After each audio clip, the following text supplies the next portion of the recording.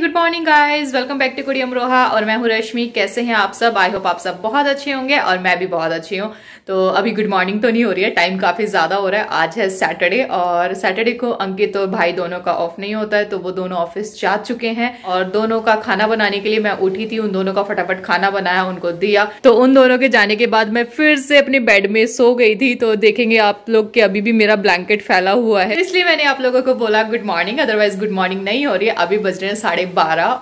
यार, सर्दी के मौसम में सबसे मुश्किल काम होता है सुबह में उठना। और सुबह में उठने का जो काम है ना, वो बस पूछो मत कितनी मेहनत लगा के करना होता है। तो मैं सुबह जल्दी उठी थी क्योंकि इन दोनों का लंच बनाना था और इन दोनों के जाने के बाद मैं दोबारा से सो गई थी। तो अब उठी हूँ, अब उठ के बस नहाऊँगी और झाड़ू पोछा करूँगी और जो ये रात को कपड़े वॉश किए थे, इन सबको फोल्ड करके रखना है, कुछ पे आयरन करनी है। तो चलिए साथ में मिलकर अपने सारे काम फिनिश करते हैं।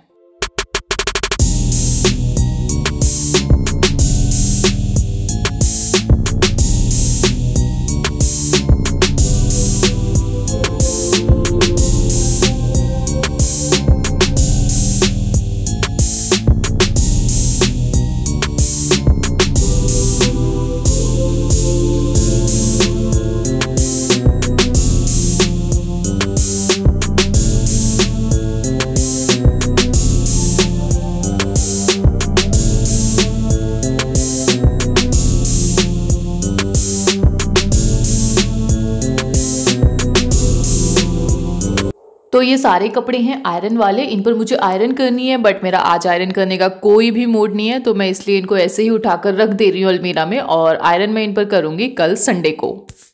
तो कल कुछ कपड़े मैंने किचन के भी वॉश किए थे तो उनको भी बस उनकी जगह पर ही रख रही हूँ अभी, क्योंकि वो भी सूख गए हैं। और यार पता है, जैसे ही किचन में आती हूँ ना, मुझे याद आता है कि यार पानी नहीं पिया मैंने कब से।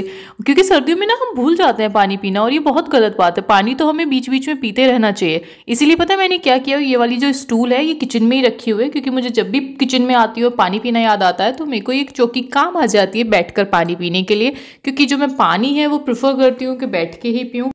चलो यार, अब फटाफट से झाड़ू पोछा करते हैं साथ मिलकर। साथ मिलकर काम करने से पता है क्या होता है? काम भी फिनिश हो जाता है जल्दी से और पता भी नहीं चलता।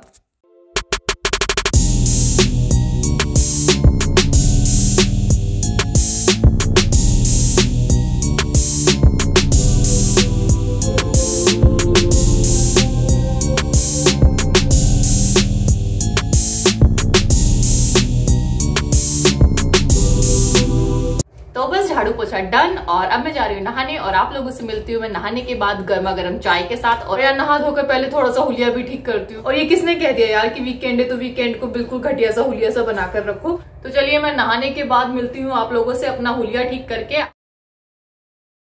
और मैं नहा चुकी हूँ, नहाने के साथ साथ मैंने हेयर वॉश भी किया है और हेयर बहुत ज़्यादा गीले हो रखे हैं अभी। और आज है क्रिसमस तो merry Christmas to all of you and आपकी लाइफ में बहुत बहुत बहुत मीन्स इतनी सारी, ढेर सारी खुशियाँ लेकर आए आने वाला नया साल, क्योंकि अब पाँच छह दिन बाद नया साल भी आने वाला है। और जैसा कि मैंने आप लोगों से कहा कि हमें छोटे छोटे जो मूवमेंट्स होते हैं, उनको सेलिब्रेट करना चाहिए, चाहे कैसे भी करें, अपने आप करें, अकेले करें, घर पर करें, बाहर करें। बस खुद को खुश रखना है और सेलिब्रेट करना है। तो मेरे साथ तो आज यहाँ पर कोई भी नहीं था। अनाया घर पर है और अंकित और रवि दोनों ऑफ़िस गए हैं। मैंने क्या किया? मैंने देखी मूवी अतरंगी रे, जो अभी नई मूवी आई है हॉट स्टार पर थी तो मैंने मूवी देखी। और साथ के साथ मैं लेकर आई दो चॉकलेट्स फ्रूट एंड नट तो मैंने सोचा, यार, कोई और तो मुझे गिफ्ट नहीं करने वाला। मैं ही खुद को गिफ्ट कर लेती हूँ।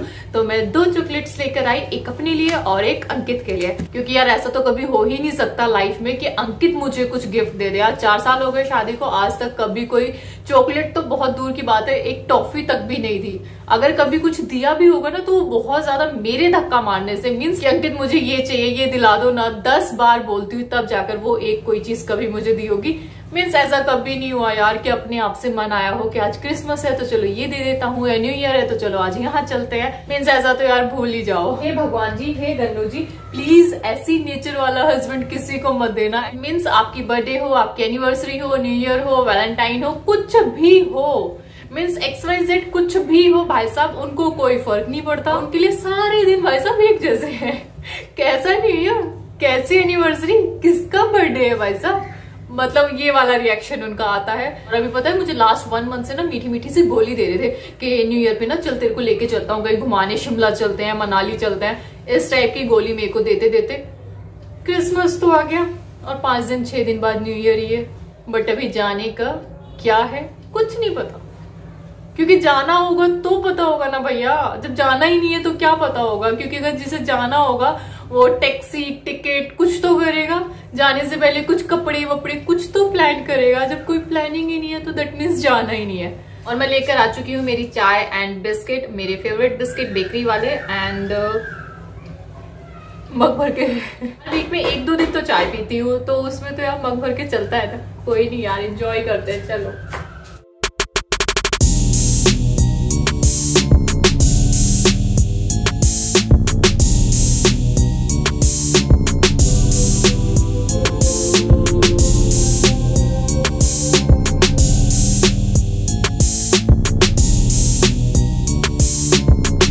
आने वाला था और उसने मुझे बोला था कि वो आज शाम को ज़रूर आएगा और पता है मैं सुबह से वेट कर रही हूँ। और मैंने अंकित को भी फ़ोन करके बोला कि जल्दी आ जाना बट वो गधा नहीं आया यार। बहुत नालायक है, बहुत बदतमीज है। मीन्स जब भी मिलेगा ना, बहुत मारूँगी। और अभी तो मैं उसको फ़ोन कर रही थी तो बेवकूफ़ मेरा फ़ोन भी नहीं उठा रहा। यार, ये सब मेरा पागल ही क्यों बनाते रहते सब मेरे को मीठी मीठी गोली देते रहते ऐसे कोई ना होता है। यार, ये सब मेरे पागल क्यों बनाते रहते हैं? मिस भाई भी मेरे को पागल बनाता है, मेरे को, मेरा हस्बैंड भी पागल बनाता है। मेरे हस्बैंड ने बोला न्यू ईयर पे बाहर चलते हैं, शिमला चलते हैं। मेरा भाई बोला कि मैं तुझसे मिलने आ रहा हूँ। ना तो भाई आया क्रिसमस पे और ना ही हस्बैंड लेके जा रहे हैं न्यू ईयर पे। क्या करूँ? कुछ नहीं कर सकते। ठीक है, अब किसी से ना कोई उम्मीद ही नहीं रखनी बेटा। रश्मि, तुझे, अब चुपचाप से चल किचन में और आलू की कचौड़ी बना और खा क्योंकि इससे ज़्यादा कुछ नहीं कर सकती तू। तो बेटर है बेटा। आलू की कचौड़ियाँ बना ले और खा ले शांति से। टाइम बेटा साढ़े सात हो गए कब बनाएगी? अगर इन भैया और सैया के चक्कर में रहेगी ना तो खुद भी भूखी रहेगी और ना कहीं घूमने जाने वाली अरे नहीं डेली में है ना तो आना था उसको तो मना कर रहा है की पैकिंग कर रहा है तो आ नहीं पाएगा। मतलब मैं पागल हूँ सुबह में उठ के खाना बना के दी हूँ अपनी नींद खराब करके। और नहीं तो फिर सैटरडे को मैं आराम से नहीं उठती? आपने दूँगी मैं सैटरडे को बना के बता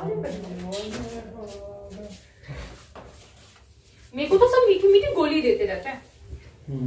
वो मुझे गोली देगी कि मैं आऊँगा ठीक है? और आप मुझे गोली दे रहे हो कि न्यू ईयर पे घुमाने लेके जाऊँगा? एक तो काम कर लिया। ठंड हो रही है। ना वैसे इस वाले में तो चल जाएगा। ये तो नीचा है। यस आपने सच में पकड़ा। मैं तो आलू रखने जा रही थी बोलो ने कचौड़ी बनाने के लिए मेरी सारी तैयारियाँ हो चुकी हैं मीन्स कचौड़ी में भरने के लिए आलू भी बन चुके हैं उसके अलावा चाय मैंने बनने रख दी है साइड में कढ़ाई में तेल चढ़ा दिया है आटा गूंथ के रख दिया है मीन्स सारी तैयारियाँ हो चुकी हैं बस एक ही तैयारी नहीं हुई यार कि मुझे कचौड़ी बनानी नहीं आती और आज मैंने बनाने की कोशिश की फ़र्स्ट टाइम तो भाई साहब, जो होना था वही हुआ एज़ यूज़ुअल नहीं बनी। मीन सर, इतनी कोशिश की मैंने, तीन चार कचौड़ियाँ बनाई और उनमें से एक ही कचौड़ी मेरी कढ़ाई तक पहुँची और वो भी इतनी बेकार बनी फिर उसके बाद फिर मुझे अपना प्लान चेंज करना पड़ा और मुझे पता है कचौड़ी स्किप करके मुझे आलू के पराठे बनाने पड़े।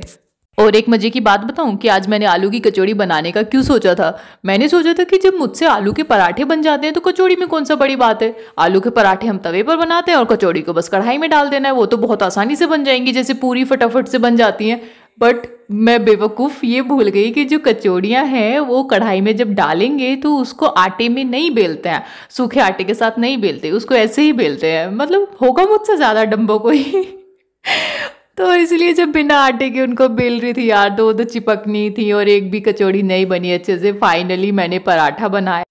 यार बस मम्मियों पे ऑर्डर चल जाता है, आज ये खाना है, आज वो खाना है, मम्मी कचौड़ी खानी है, मम्मी आलू का पराठा खाना है। बट बेटा, पता तो तब चलता है जब खुद बनाने बैठते हैं और नहीं होता। तो बस मैं गैस पर अब तवा चढ़ा चुकी हूँ और बनाने हैं मुझे आलू के पराठे, क्योंकि कचौड़ियाँ तो यार बन ही नहीं पाई। कितनी कोशिश की मैंने बनाने की। तो आप लोग भी आ जाइए फटाफट से और खाइए गर्मा गर्म आलू के पराठे, चाय के साथ। एंड इसी के साथ मैं करती हूँ आज के व्लॉग का एंड और ये देखिए, मेरा आलू का पराठा बिल्कुल रेडी है। तो इस आलू के पराठे के नाम पर एक लाइक और एक सब्सक्राइब तो बनता है यार। मिलती हूँ आप लोगों से नेक्स्ट व्लॉग में। तब तक के लिए बाय बाय टेक केयर